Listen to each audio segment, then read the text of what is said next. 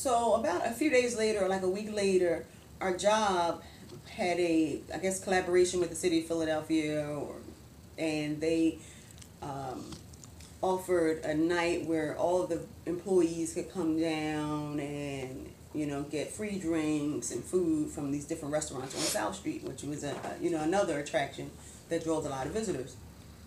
So I was sitting there with another coworker in one of the restaurants, you know, having a drink and you know just you know hanging out, and we were with other park rangers or other park employees, and um, my husband came in, who of course wasn't my husband at the time, but he came in, and I had met him a few days previous, and he saw us, and his he just brightened up, and he came over, and he was like, "Can I join y'all?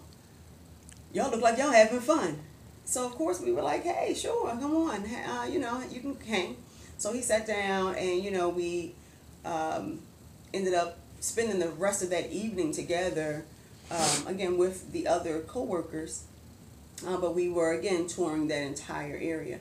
And so it was similar to that from that time on. Every day we were at work, he would just pop up places. So I would be working in a building, and then all of a sudden the door would open. I'm waiting for some visitors to come in. Here comes Sakaran telling me that he just was in the he was walking past the building, but he's now coming in to talk to me. So we would talk each time, and so eventually I was like, hey, we should go, you know, on our lunch break, we should go ahead and have lunch. So we went out to lunch a few times and had lunch, and we continued to bump into each other every day for probably about two or three weeks, maybe maybe a month.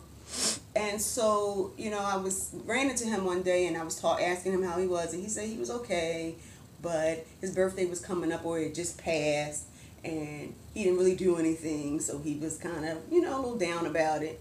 I was like, oh, that's, you know, that's that's sad. And so I said maybe we could do something one day.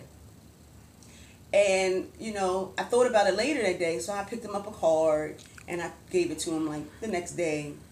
And you know, he seemed really appreciative of the card, but it was just a nice gesture because he said that he hadn't done anything. So this one night I was sitting at home and I was just like, hmm, I want to do something. So I remember that when he came to visit me this one time, he had wrote his name on this napkin and put his number on it and gave it to me. Like, here, call me sometime.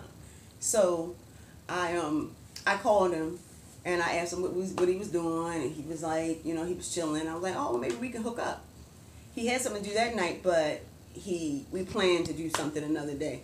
And you know, from that point on, we kind of just were inseparable for the entire summer. Um, and the rest is history.